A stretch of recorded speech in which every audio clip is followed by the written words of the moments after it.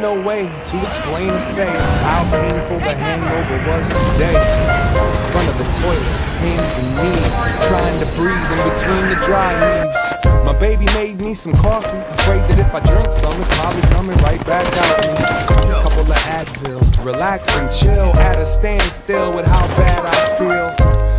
I need to smell fresh air, so I stepped out the back door and fell down the stairs. The sunlight hit me dead in the eye, like it's mad that I gave half the day to last night. A bad sight made me trip on my ass right into that patch of grass, like that's life. All of a sudden, I realized something. The weather is amazing, even the birds are bumping. Stood up and took a look and a breath,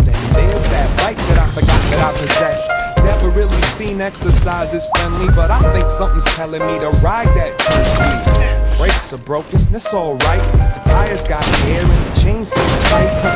Hopped on and felt the summertime. It reminds me of one of them moose lines. Like sunshine, sunshine, it's fine. Feel it in my skin, warm it up my mind. Sometimes you gotta give in to win. I love the days when it shines.